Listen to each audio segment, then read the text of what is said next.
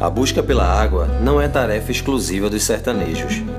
Os 71 municípios do Agreste Pernambucano enfrentam os efeitos da seca severa, considerada a pior dos últimos 50 anos. São quase 2 milhões de pessoas atingidas. Sem chuvas, as principais barragens secaram ou se aproximam disso.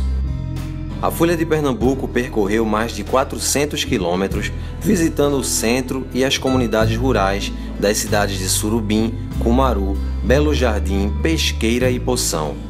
Em todas elas, a escassez que deixa a terra seca e rachada também extermina plantações e priva as pessoas do direito a um bem vital. Há quanto tempo que a senhora está sem água na torneira? Três meses. Como é que está dando para viver? Porque tem um vizinho aqui que tem um poço e dá água a gente. De 15 em 15 dias a gente pega água com ele do poço. E pra, assim, só para gasto, né? Cozinhar, só para gasto e lavar roupa. Para cozinhar e beber a gente compra.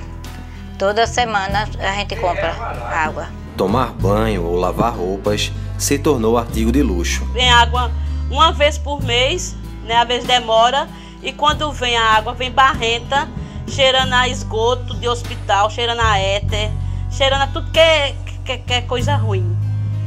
Tem até medo de tomar banho, de cozinhar, nem, nem pensar. Nunca cozinhei com essa água, né?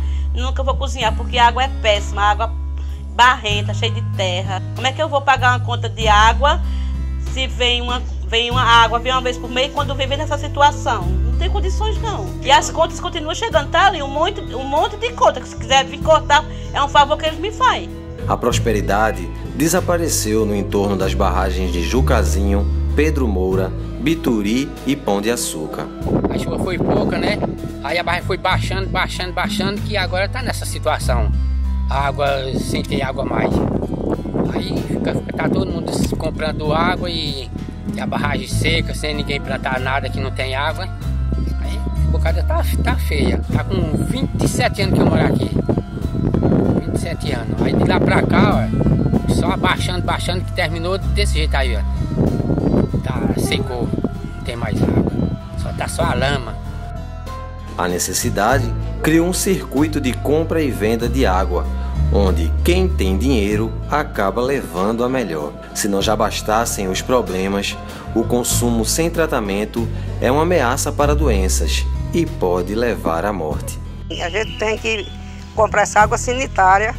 Quando a água chega, para botar para pôr dentro da água, que a moda da água fica limpa, para limpar, para poder a gente fazer, lavar alguma roupa, lavar um prato, se quiser lavar, se quiser. E se não quiser nada feito, porque não presta para nada. Aí fica assim.